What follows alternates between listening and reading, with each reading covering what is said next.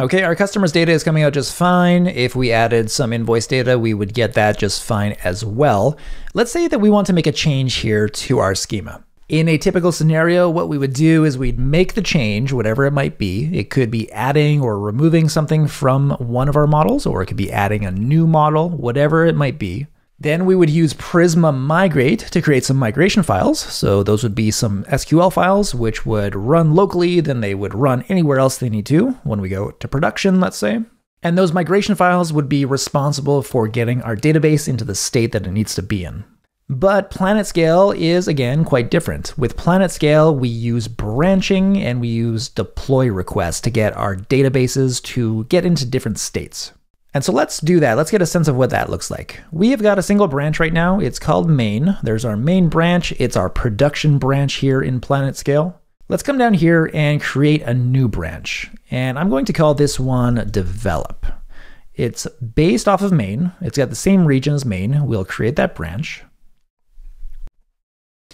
And what happens here as this develop branch initializes is it takes everything, basically the current state and schema from the main branch, and moves it over or duplicates it over to this develop branch. What it doesn't do, however, is it doesn't bring the data that is associated with our main branch. It doesn't bring the data itself over to develop. So in that sense, we can work with the develop branch as if it were a separate database for us. So a separate development database that can have different data, but based off of the same schema as our main branch. So we can see some messaging here that if we want to update our main branch, we can make schema changes and then make a deploy request.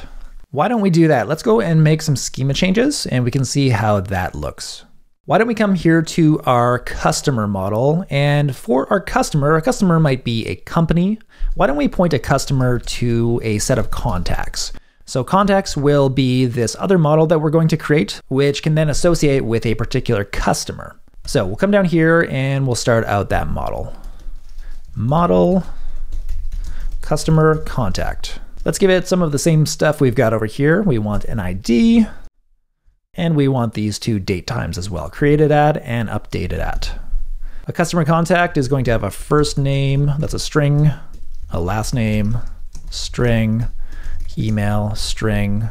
Why don't we just do phone as well? We'll represent that as a string here, just because there might be different formats, etc. So I think that's probably enough for now. We could make this a many-to-many, so many customer contacts could be associated with many different customers. I think possibly a better way though is just to have this be one-to-many, so a customer contact is associated with a single customer.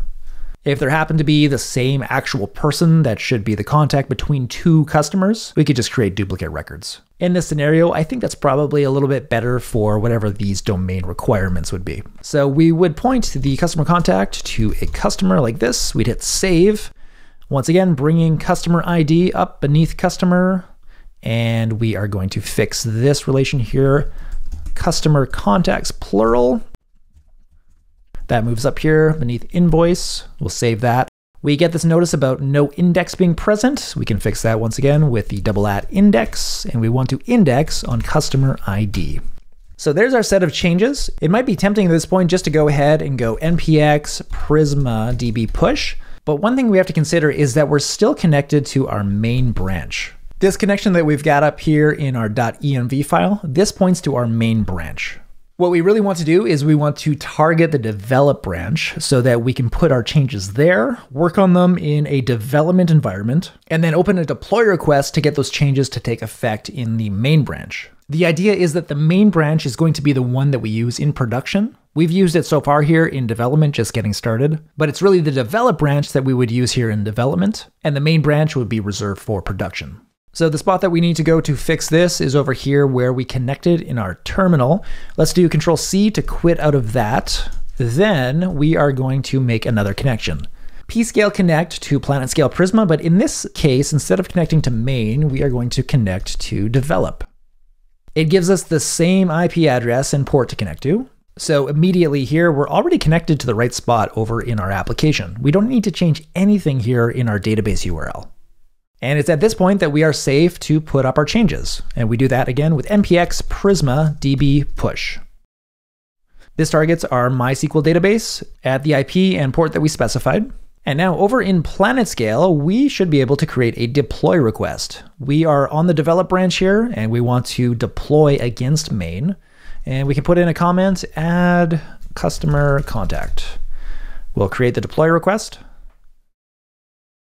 It's open. We have one table created and one table altered. And what we can do down here is we can see what has changed. We've created the customer contact table and we've altered the invoice table. The alteration to invoice that came a little while back when we added the customer ID as the index. And the reason that we're not getting any changes reflected there for our addition of customer contacts here to the customer model is because that is something that Prisma handles virtually. In the table itself, in the customer table, we don't actually have a new field called customer contacts. We don't have a new column for that. This is handled instead at the Prisma client level. So now we can choose to deploy the changes against our main branch. It's at this point though, we might want to do some work in our application. We might want to build some features against this schema and prove out that everything is working. But once we're satisfied with this, we can go over and we can deploy those changes. Once that completes, we can delete the branch if we want to. I'm going to keep this branch around because the develop branch is kind of where we want to be working for the most part until we're ready to put our changes into main. And you can probably start to see that this looks and feels quite a bit like Git. We branch off, we make some changes, and we create a request to have those changes take effect in the main spot. Just like in GitHub, we can delete the branch when we're done. There's definitely a lot here that is analogous to Git.